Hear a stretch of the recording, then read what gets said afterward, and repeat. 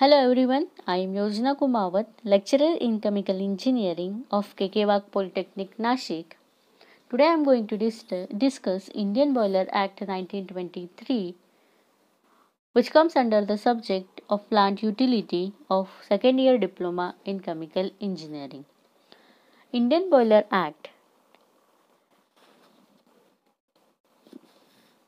came in 1923 this act contains the law related to registration and inspection of steam boiler. This act may be called as the Indian Boiler Act 1923. It extends to the whole of India except the state of Jammu and Kashmir.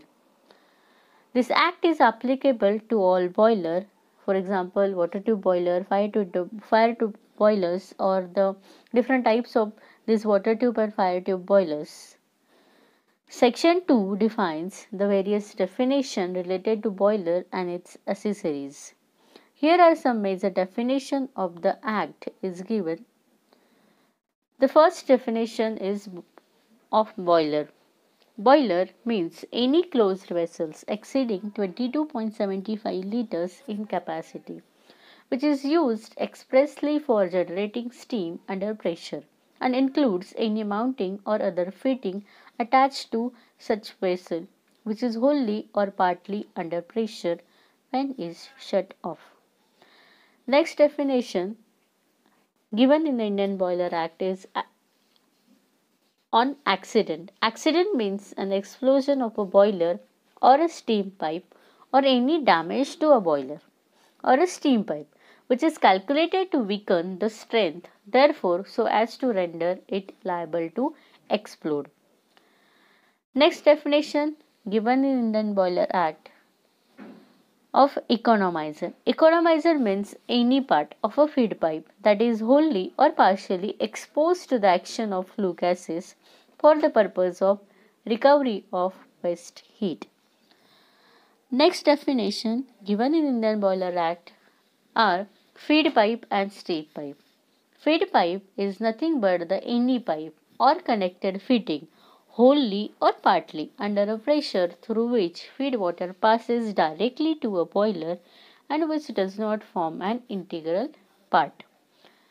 Next is steam pipe. It is the pipe through which steam passes from a boiler to a prime mover or other users or a boat.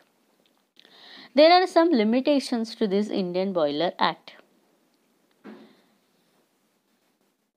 In any steam pipe as defined in Indian Steamships Act 1884 or in any steam vessels as defined in the Inland Steam Vessel Act 1917 will not be considered in under the Indian Boiler Act. Also, the boiler which comes under the control of Army, Navy or Air Force also not considered in the Indian Boiler Act the uh, sterilizers or the disinfector of a type such as commonly used in hospitals are also not considered under the Indian Boiler Act. This act shall not apply in the case of boilers or steam pipes or any specified class of boilers or steam pipes belonging to or under the control of any railway administered by the central government or by any state government or by any railway company as defined in clause.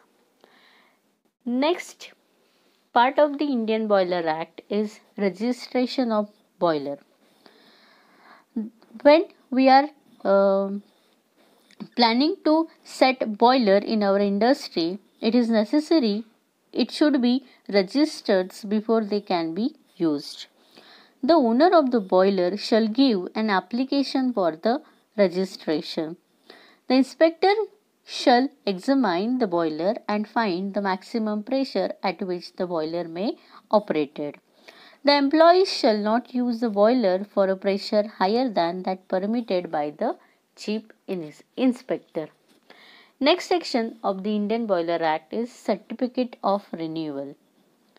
The certificate useful to the employer for using the boiler shall be renewed after generally 12 months. if the boiler is transferred from one state to the another, if some accident occur with the boiler or if some alterations are done in the boiler parts. Next section of the Indian Boiler Act is duties of persons in charge.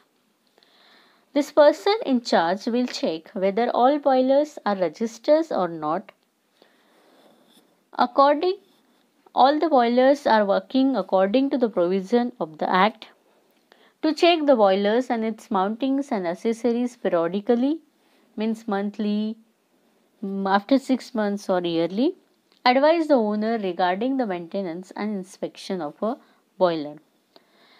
There is another inspector is there that is a chief inspector. The duties of chief inspector are they decide whether the certificate is to be given or not. Maintain the record of all the boiler is the responsibility of chief inspector and the supervision and the control of work of officer in charge is also the duty of chief inspector. Next section of Indian Boiler Act is transfer of boiler. When we want to transfer a boiler from one state to the another, permission must be taken again from the chief inspector of new state for its installation and operation. If we fail to do so, then the we cannot install our boiler in another state. Next section of the Indian Boiler Act is boiler repairs. Before carrying out the boiler repairs, permission is obtained from the chief inspector. Major boiler repairs and replacement connected with the furnace etc. are undertaken in the presence of inspector only. Next section of the Indian Boiler Act is inspection of boiler. Boiler is inspected before the certificate for its operation is given to its employer. Before inspecting the boiler, the boiler should be cleaned. All the fittings such as burner, stoker, etc. are removed and the valves and cocks etc. are open. Next section under the Indian Boiler Act is boiler accident. In case of boiler accident, the boiler shall inform the inspector with full details of the same. The inspector shall carry out the investigation and decide whether to permit use of boiler in the future and if so, then at what working pressure. The inspector should inform chief inspector about his investigation. Next section under the Indian Boiler Act is boiler mounting. For a proper and a safe operation of a boiler, the following shall be fitted on the same. Means the boiler consists of or the it uh, should be mounted with the one blow off cock, one feed pump, one feed check valve, one fusible plug, adequate number of manholes and side holes, two safety valves, one safety valve after superheater and two water level indicators.